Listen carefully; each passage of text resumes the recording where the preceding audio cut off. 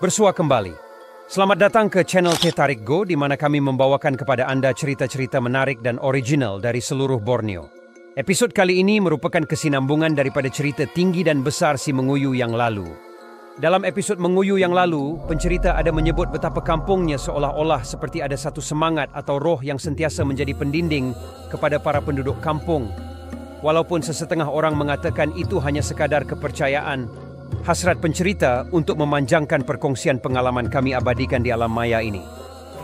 Menurut nenek pencerita, dalam satu peristiwa bersejarah di kampung itu pada masa dahulu, pernah terikat satu perjanjian ataupun sumpah berdarah menggunakan taru yang diletakkan di persempadanan kampung.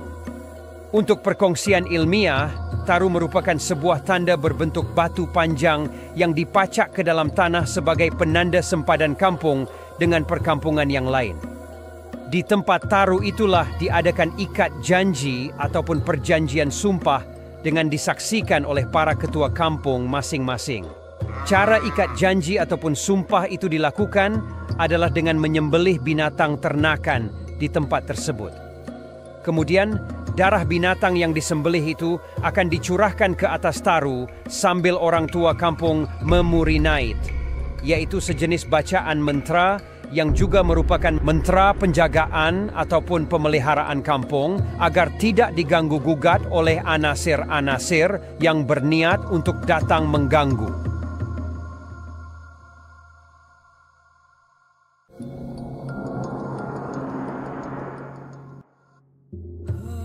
Pada suatu masa dahulu, tersebutlah akan satu peristiwa yang diceritakan oleh nenek pencerita semasa dia masih hidup.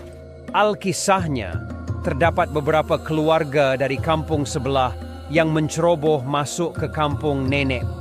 Niat mereka adalah untuk menduduki kawasan kampung tanpa kebenaran kerana mereka percaya bahawa taru batu sumpah yang menjadi tanda sempadan sudah terbatal dan tidak lagi bermakna. Dengan angkuh dan begitu berani sekali, mereka tidak memperdulikan amaran dan nasihat penduduk kampung yang memperingatkan mereka tentang sumpah yang mengikat sempadan kampung tersebut. Mana tidaknya, kampung pencerita ini sangat indah di mata orang luar. Sebatang sungai jernih dan indah menyeri tepian kampung. Sepadang rumput yang luas menghijau menjadi penyejuk mata kenyamanan udara yang begitu segar seumpama dicurahkan dari lingkaran pelangi berwarna-warni. Sudah tentu sesiapa sahaja akan tertarik dengan keindahan alam di situ. Bagi penduduk kampung, tempat ini adalah syurga mereka yang penuh dengan kedamaian.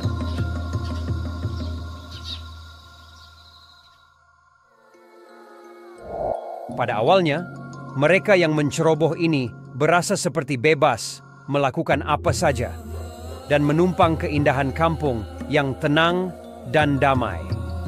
Namun, keadaan berubah apabila satu persatu anggota keluarga penceroboh meninggal dunia tanpa sebab yang jelas. Kejadian pelik ini menimbulkan rasa gempar di kalangan mereka dan mereka mulai merasa akan kehadiran sesuatu yang tidak dapat dilihat tetapi sangat nyata.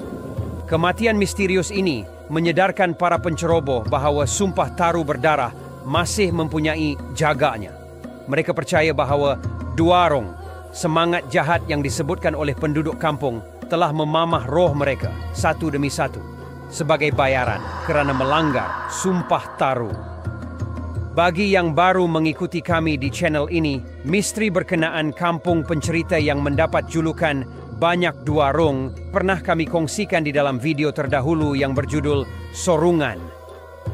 Takut dengan apa yang telah menimpa mereka, keluarga penceroboh yang tinggal sedikit itu memutuskan untuk keluar dari kampung tersebut. Mereka tahu keturunan mereka akan pupus begitu sahaja sekiranya mereka teruskan tinggal di situ.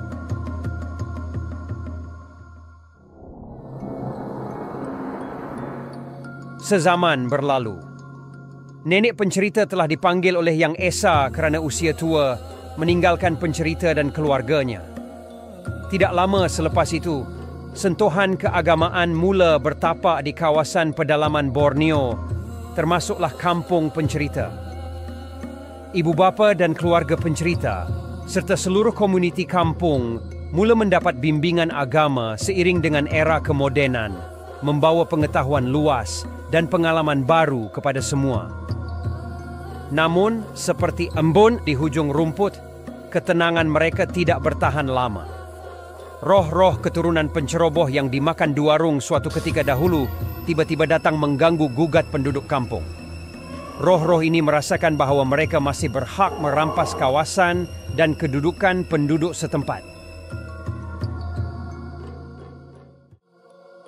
Menurut beberapa orang tua kampung yang memiliki kebolehan melihat dengan mata ketiga, roh-roh atau semangat-semangat ini cuba datang kembali untuk menjadi penduduk asal kampung tersebut.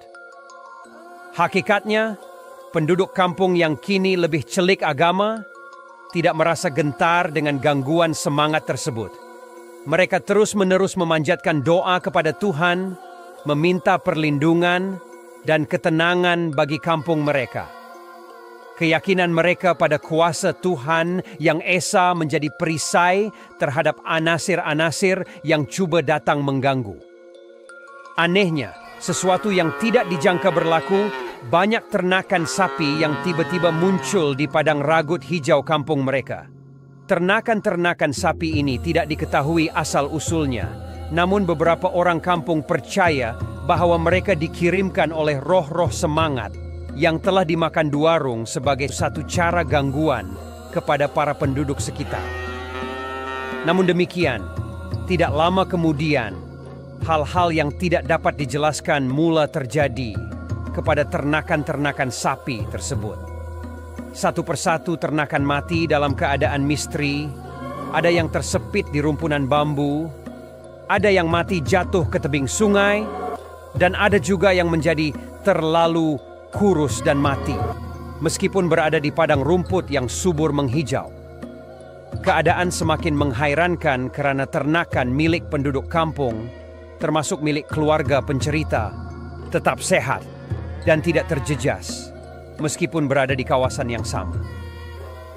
Lama-kelamaan, ternakan yang misterius itu semakin berkurangan sehingga akhirnya dikeluarkan semuanya dari kampung penduduk kampung semakin yakin bahawa perlindungan yang Maha Esa di samping sumpah taru berdarah melindungi mereka dari anasir luar.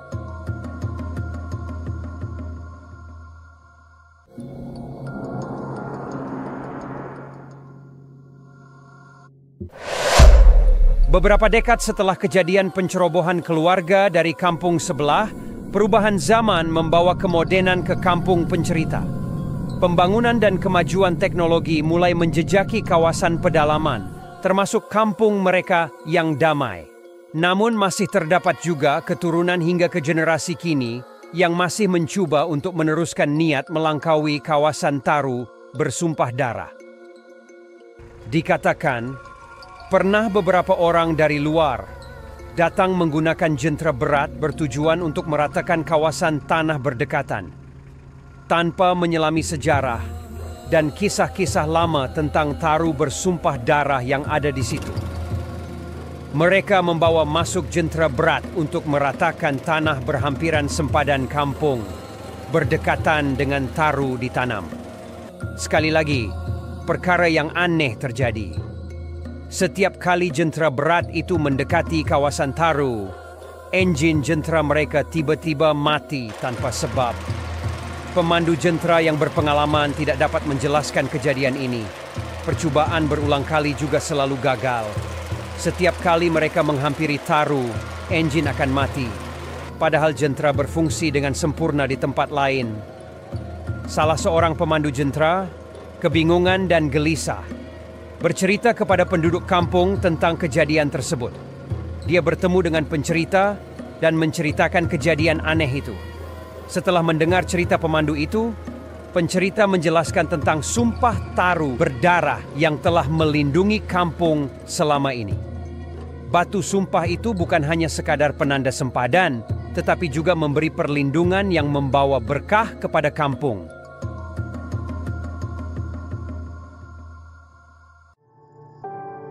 Akhir sekali, pesan pencerita. Jangan cuba memperlekehkan taru dan sumpah perjanjian berdarah. Dan walaupun kini bimbingan agama telah menjadi sandaran hidup, namun jauh di sudut hati pencerita, roh dan semangat yang mendinding kawasan kampung tidak akan pernah hilang di telan zaman. Ia akan datang pada masa yang diperlukan, pada ketika timbul niat jahat yang cuba melangkaui batasan sempadan kehidupan. Dengan itu kami sudahi malam ini dengan meminta teman-teman follow, like dan share video ini. Teman-teman juga boleh menghantarkan cerita original anda kepada kami ke email seperti tertera. Selamat malam semua. Woo!